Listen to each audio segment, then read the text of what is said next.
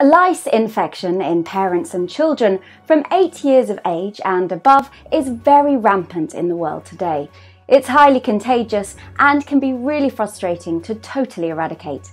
95% of victims affected by this infection tend to seem helpless, as most measures put in place to put an end to the terror seem to be of little or no help. This kindled a quest for an effective solution in Nicolette Mack, a mother of two whose children used to be victims of lice infection. After several late nights working, brainstorming, making surveys, and much more, she was able to come up with an effective measure that works by drowning and keeping the lice on the hair unconscious for a period of time in olive or sunflower oil, enabling the infected victim to comb them out with the use of a lice comb. This invention is called the lice hat.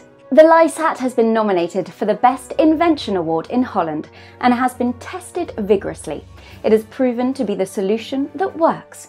It is healthy for the hair, cost effective, and can be reused for at least 10 times.